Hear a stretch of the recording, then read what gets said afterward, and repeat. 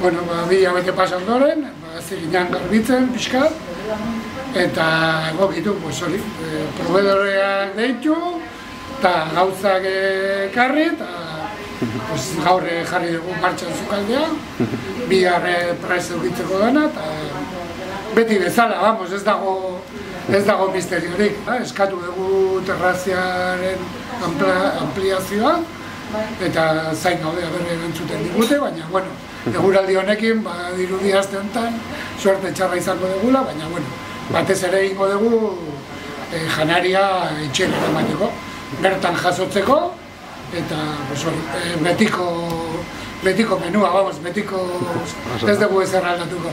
Nola egogituko gara, eta zer badirudi udaraia jungo dala pikutara, eta ez dakit.